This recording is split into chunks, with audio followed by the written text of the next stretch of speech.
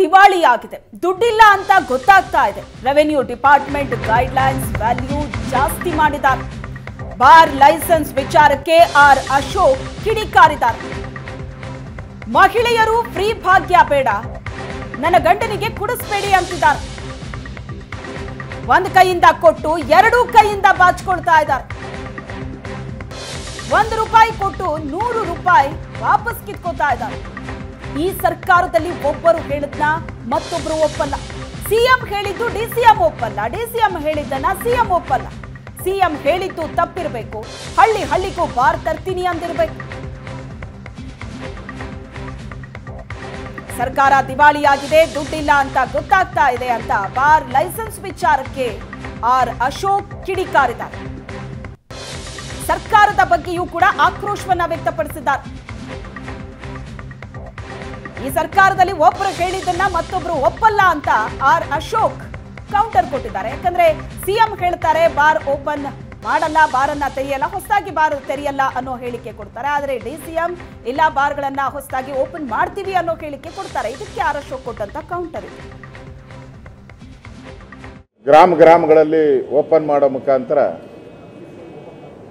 ಸರ್ಕಾರ ದಿವಾಳಿ ಆಗಿದೆ ಸರ್ಕಾರದ ಹತ್ರ ದುಡ್ಡಿಲ್ಲ. ಮೊನ್ನೆ ತಾನೇ ರೆವಿನ್ಯೂ ಡಿಪಾರ್ಟ್ಮೆಂಟರು ಗೈಡ್ಲೈನ್ಸ್ ವ್ಯಾಲ್ಯೂನ ಜಾಸ್ತಿ ಮಾಡಿದ್ದಾರೆ.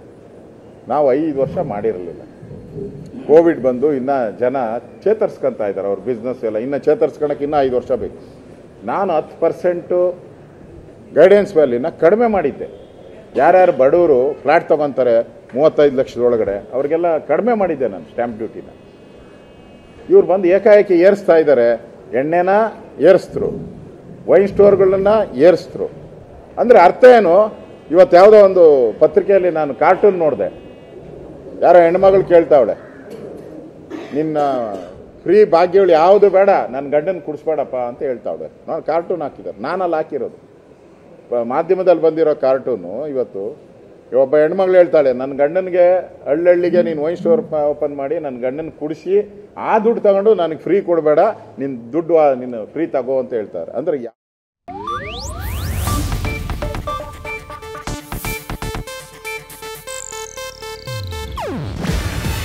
ಇದು ಏಷ್ಯಾನೆಟ್ ನ್ಯೂಸ್ ನೆಟ್ವರ್ಕ್ ಪ್ರಸ್ತುತಿ. ನೀವು ನೋಡ್ತಿದ್ದೀರಾ ಏಷ್ಯಾ ನೆಟ್ ಸುವರ್ಣ ನ್ಯೂಸ್.